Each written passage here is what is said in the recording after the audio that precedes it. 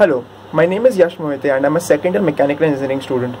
During the period of this quarantine, we had the opportunity of attending various webinars, and one such webinar was conducted by uh, Mr. Samish Dalal, who, uh, sir is a very famous faculty at a popular Indian B school. The fact that I liked the most about this webinar was that sir had got uh, B school level content and he had toned it down so that an everyday student could understand it without compromising on the knowledge aspect of it he gave us a clear understanding of how, of how the businesses around us function and wherein we as engineers can come in and play our part in optimizing their operations and increasing the efficiency uh, and basically help them out.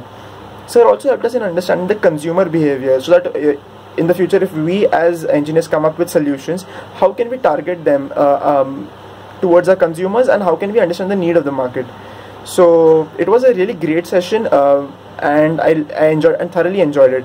So I would like to thank the training and placement department of our college along with the entrepreneurship development cell who had given us such a great opportunity. Though we have been restricted uh, in our homes, um, the learning is going on and, and that's the fact that I enjoy the most about it. Thanks a lot.